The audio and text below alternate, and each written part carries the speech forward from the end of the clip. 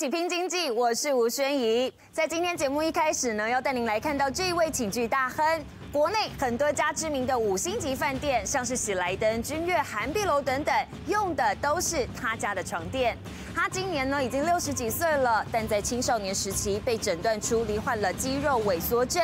而当时医生认为他根本不可能活过三十二岁，但接下来就要来看看这位生命斗士如何在逆境中求生存，还做出了让五星级饭店抢着下单的起居。It has been a glorious time to be alive and doing research in theoretical physics. 知名科学家史蒂芬·霍金罹患的渐冻症是肌肉萎缩症的一种。他发病后曾被医生诊断活不过五年，但最后他撑到了七十六岁。而在台湾的产业界，也有一位罹患肌肉萎缩症的生命斗士。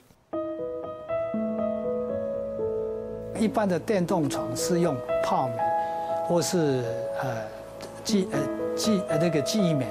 啊啊，或是乳胶，但是我们用的这个里面是有是弹簧，相对的比较起来，它更有支撑力，呃，睡起来会更舒服。哎，所以它里面用弹簧，但它还是可以这样子弯哦。对对对，啊，这个就是他们厉害的地方，就是一个专利。示范使用电动床，他是黄鹤鸣，寝具业界封他为睡眠博士。我大概二十岁左右，我就发觉我发罗罹患的肌肉萎缩症。但是我一直在追求睡眠过程中，我就忘记这些事情了。但是不知不觉，现在已经六十五岁了，所以已经在过第三代的事。所以我在精神上，我相当的富有。戏称自己已经活了三辈子，因为黄鹤鸣二十几岁时被诊断出罹患肌肉萎缩症，当时医生认为他活不过三十二岁。因为我妈妈经常看我去看医生，中医啦、西医啦，都觉得说这样的肌肉萎缩大概。十年以后，大概心脏会萎缩掉，以后就是到的生命的终结。当然，每一个人这样的发生在自己身上都会 care，坏，坏命，就为什么是我？但是这个是要经过心理调整的，这个用了很大的量去去呃心理调整。上帝讲了一句话说：上帝跟你关了一道门，一定会给你开一道更漂亮的窗。那我是觉得说，这里就是事在人为，就让自己更有信心的，就是排这些最大的还是在心魔是自己。我应该在二十二岁，呃，要去当兵的时候，我 M1 步枪拿不起来，啊，但是我一直比较倔强的人，我一直想坚持下去。后来辅导长、连长、班长都劝我说，这样太辛苦，你还是退训。后来我就申请的，呃，申申请了退训。呃，所以我也因为这样的一个呃缺陷，造成我以后更好的一个发展。我所谓的塞翁失马焉知非福哈，就是这个道理。因为我比别人更早两年进入这个社会，肢体上的不便反而让黄鹤鸣更努力过日子。二十八岁那年，他创业开店，做的是那个年代很盛行的嫁妆百货行。因为那个时候从零开始，我是零资金创业，什么都没有，随便抓一个名字起来就先营业再说，先过过不多再过不做了。小时候家里很穷，黄鹤鸣全家人得挤在同一张床上。长大后又罹患肌肉萎缩症，这也让黄鹤鸣特别专注在寝具研发。弹簧得一个一个用人工放进机器内，这个方式跟一般的工法大不相同。一般制造弹簧床都是像这样直接用机器抽钢丝，快速热成型变成弹簧，但他们的弹簧却得一个一个慢慢来，是因为这些弹簧有经过二次回火。其实一张床最重要的核心，其实就是在弹簧。那这一台就是我们所谓的。二次回火机器，其实一般二次回火后，它的韧性跟刚性就会跟一般弹簧不太一样。为了让弹簧韧性更好，得经过二次回火，光是这个步骤就得花上二十四小时，费时又费工，因此大部分业者不会这么做。我们在睡，那你睡久了，它也不会弹性疲乏。那这一边就是我们把这一一万颗弹簧整个放到我们的热处理机里面，那加热用超过五百度的。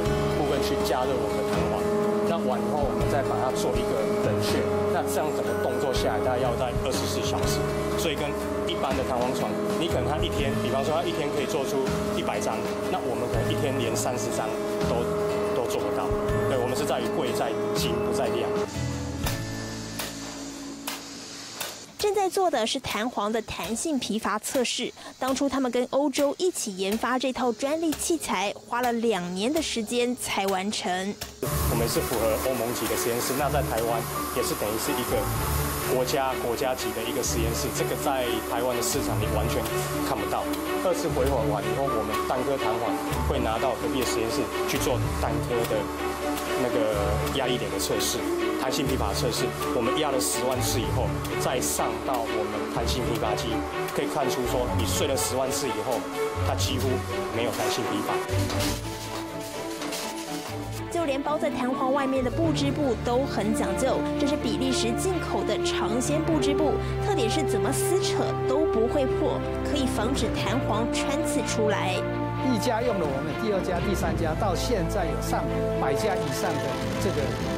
星级饭店、呃商务旅馆、民宿，或是那坐月子中心、汽车旅馆，哈，都用到我们的东西。比如说，韩碧楼、喜来登，呃，台北的精品你们都知道嘛，哈，汉品你们都知道哈，这个都是，我都是。